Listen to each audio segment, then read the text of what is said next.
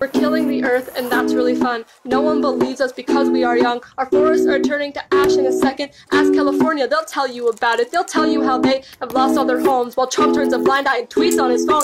Global warming's an expensive little hoax for the last time. This is not a joke. Our factories are working and toxins emitting. The ozone is crumbling, and we won't stop putting chemicals in what we're trying to breathe. Our future is stolen, and we are the thieves. Sea levels are rising, and icebergs are melting. The coral reefs are dying, and no one is helping. Do you realize they keep the oceans alive? This started back in 1985. Don't come to me when your child can't think of what a tiger is cause they're extinct. Don't cry to me when your fur coat ain't clean. The endangered list is now 41,416. Dear 2045, I don't think we're gonna survive. If you end up hearing this story, I just want to say, I'm sorry.